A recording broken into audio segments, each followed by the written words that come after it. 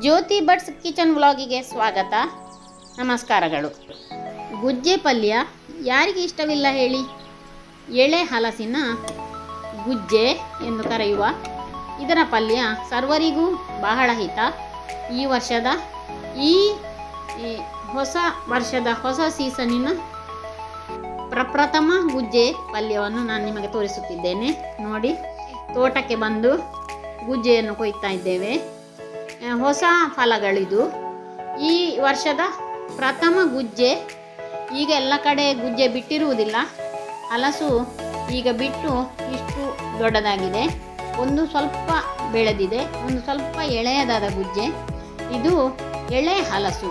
ಇದನ್ನು ಗುಜ್ಜೆ ಮಾಡಿ, ಪಲ್ಯ ಮಾಡಿ ತಿನ್ನುವುದು ಬಹಳ ರುಚಿಕರ. ಈ ಗುಜ್ಜೆಯನ್ನು ತುಂಡು ಮಾಡುವುದು ಸ್ವಲ್ಪ ಅದಕ್ಕೊಂದು ಅನುಭವ ಬೇಕು. ನೋಡಿ, ಅದನ್ನು ಈ ಥರ ಉದ್ದ ಉದ್ದವಾಗಿ ಕತ್ತರಿಸಿಕೊಂಡು ಅದನ್ನು ತಣ್ಣೀರಿನಲ್ಲಿ ಹಾಕಬೇಕು. ತಣ್ಣೀರಿನಲ್ಲಿ ಹಾಕಿ ಅದನ್ನು ಈ ಥರ ಸ್ವಲ್ಪ ಸ್ವಲ್ಪ ದೊಡ್ಡ ದೊಡ್ಡ ತುಂಡುಗಳನ್ನಾಗಿ, ಚೌಕ ಚೌಕಾಕಾರದ ತುಂಡುಗಳನ್ನಾಗಿ ಮಾಡಿಕೊಳ್ಳಿ. ಈ ನೀರಿಗೆ ಚೂರು ಎಣ್ಣೆ ಪಸೆಯನ್ನು ಹಾಕಿಕೊಳ್ಳಬಹುದು. ತೆಂಗಿನ ಎಣ್ಣೆ, ಯಾವುದೇ ಎಣ್ಣೆ ನಾವು ಉಪಯೋಗ ಮಾಡುತ್ತೇವೆಯೋ ಆ ಎಣ್ಣೆ ಹಾಕಿಕೊಂಡರೆ ಅದು ಅದನ್ನು ಕೈಗೆ ಅದರ ಮೇಣ ಹಿಡಿಯುವುದಿಲ್ಲ. ತೆಂಗಿನ ಎಣ್ಣೆ, ಇದಕ್ಕೆ ಉಪಯೋಗ ಶ್ರೇಯಸ್ಕರ. ನೋಡಿ, ಈ ಥರ ತುಂಡು ತುಂಡು ಮಾಡಿಕೊಂಡ ಗುಜ್ಜೆಯ ತುಂಡುಗಳನ್ನು ಕುಕ್ಕರಿನಲ್ಲಿ ಬೇಯಿಸಿಕೊಳ್ಳೋಣ. ಅದಕ್ಕೆ ಒಂದು ಚಮಚ ತೆಂಗಿನೆಣ್ಣೆ ಹಾಕಿ, ಅದಕ್ಕೆ ಈ ಹೋಳುಗಳನ್ನು ನೀರಿನಿಂದ ತೆಗೆದು ಹಾಕಿಕೊಳ್ಳಿ. ಹಾಗೆ ಹೋಳುಗಳನ್ನು ಹಾಕಿಕೊಂಡ ನಂತರ ಅದಕ್ಕೆ ಒಂದು ಚಮಚ ಮೆಣಸಿನ ಹುಡಿ ಅದು ಮುಳುಗುವಷ್ಟು ನೀರು, ಮತ್ತು ಒಂದು ಸ್ವಲ್ಪ ಅರಶಿನ ಹುಡಿ ಈ ಮೆಣಸಿನ ಹುಡಿ ನಿಮ್ಮ ನಿಮ್ಮ ಖಾರಕ್ಕೆ ತಕ್ಕ ಹಾಕಿಕೊಳ್ಳಬಹುದು.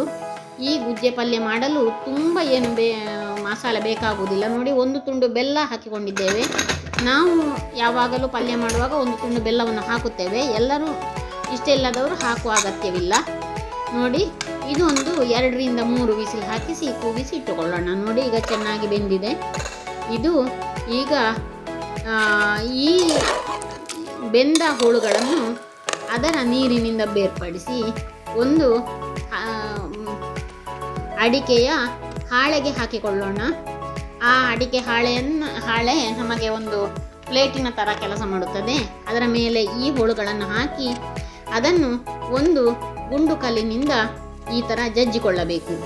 ಇದು ಹಾಳೆ ಬದಲು ಪ್ಲೇಟ್ ಕೂಡ ಆಗಬಹುದು. ನಾವು ಹಳ್ಳಿಯಲ್ಲಿ ಹೆಚ್ಚಾಗಿ ಈ ಉದ್ದೇಶಕ್ಕೆ ಹಾಳೆಯನ್ನು ಉಪಯೋಗ ಮಾಡುತ್ತೇವೆ. ಒಗ್ಗರಣೆ ರೆಡಿ ಮಾಡಿಕೊಳ್ಳೋಣ. ಅದಕ್ಕೆ ಸಾಸಿವೆ, ಉದ್ದಿನ ಬೇಳೆ, ತೆಂಗಿನೆಣ್ಣೆ ಮತ್ತು ಕರಿಬೇವು. ನೋಡಿ, ಇದಕ್ಕೆ ಉದ್ದಿನ ಬೇಳೆ ಒಂದು, ಒಂದೂವರೆ ಚಮಚ, ಅರ್ಧ ಚಮಚ ಸಾಸಿವೆ, ಮತ್ತು ಒಂದು ಮೂರರಿಂದ ನಾಲ್ಕು ಚಮಚ. ಸ್ವಲ್ಪ ಜಾಸ್ತಿ ಎಣ್ಣೆ ಇದ್ದರೆ ಒಳ್ಳೆಯದು. ತೆಂಗಿನೆಣ್ಣೆ. ಇಷ್ಟು ಹಾಕಿ ಎರಡು ತುಂಡು ಮೆಣಸನ್ನು ಹಾಕಿಕೊಂಡು ಒಗ್ಗರಣೆಯನ್ನು ತಯಾರು ಮಾಡಿಕೊಳ್ಳೋಣ. ಇದು ಒಗ್ಗರಣೆ ಸಿಡಿದ ನಂತರ ಅದಕ್ಕೆ ಕರಿಬೇವಿನ ಸೊಪ್ಪು ಹಾಕಿ, ಹಾಕಿದ ಮೇಲೆ ಅದಕ್ಕೆ ಈಗಾಗಲೇ ನಾವು ಬೇಯಿಸಿದ ಹೋಳುಗಳು, ಜಜ್ಜಿಟ್ಟುಕೊಂಡ ಹೋಳುಗಳನ್ನು ಇದಕ್ಕೆ ಹಾಕಿಕೊಂಡು ಚೆನ್ನಾಗಿ ಹೊಂದಿಸಿಕೊಳ್ಳೋಣ ನೋಡಿ, ಇದೀಗ ಎಳೆ, ಹಲಸಿನ ತುಂಡು ಮಾಡಿದ ಬೇಯಿಸಿದ ಹೋಳುಗಳನ್ನು ಗಜ್ಜಿಟ್ಟುಕೊಂಡದ್ದು. ಆ ಹೋಳುಗಳು ಮೃದುವಾಗಿ ಬೆಂದಿದೆ ಈಗ. ಅದರ ಆ, ಪರಿಮಳ ಬರುತ್ತಾ ಇದೆ. ಈ ಹೋಳುಗಳು ಒಗ್ಗರಣೆಗೆ ಹಾಕಿದ ಮೇಲೆ ಚೂರೇ ಚೂರು ಅರಸಿನ ಹುಡಿ ಹಾಕಿ ಚೆನ್ನಾಗಿ ಹೊಂದಿಸಿಕೊಳ್ಳಿ. ಇದು ಮಾಡಲು ಬಹಳ ಸುಲಭ ಆದರೆ ಗುಜ್ಜೆ ತಂದು ಕತ್ತರಿಸುವುದು ಮಾತ್ರ ದೊಡ್ಡ ಕೆಲಸ. ಸ್ವಲ್ಪ ತೆಂಗಿನಕಾಯಿಯ ತುರಿ ಹಾಕಿ ಹಸಿಯದಾಗಿರಲಿ ಒಂದು ಸ್ವಲ್ಪ ಜಾಸ್ತಿನೇ ಇರಲಿ. ಒಂದು ಸಣ್ಣ ಕಪ್ ಹಾಕಬಹುದು. ನೋಡಿ, ಈಗ ರುಚಿಯಾದ ಗುಜ್ಜೆ ಪಲ್ಯ ತಯಾರಾಯಿತು.